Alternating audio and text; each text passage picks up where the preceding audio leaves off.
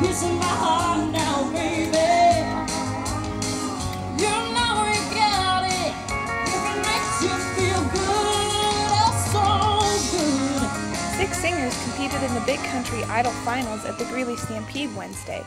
Among the contestants were Alan Wabaking and Kelsey Gerlich. I just love to sing, so I enter everything I can get into. Um, I'm a little nervous, but I'm sure it'll all go away. For several of the singers, the competition was a small step toward their dream of a career in music. I've been told I'll be an idiot if I don't try it, so I'm, I'll be 49 this year. I finally decided what I want to do when I grow up, and it's sing. Family and friends were there to show support, and fans were impressed by the performances. We're part of Kelsey's fan club.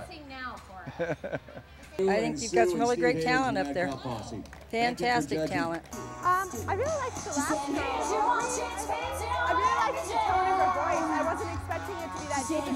I think they're doing a fantastic job. I mean, I just, the range coming out of something that little, that big is fantastic. Aubrey Bullock was the winner of the competition.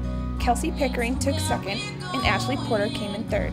At the age of eight, Olivia Weiss took home the distinction of being the crowd favorite. For the Greeley Tribune, Jessica Holtman.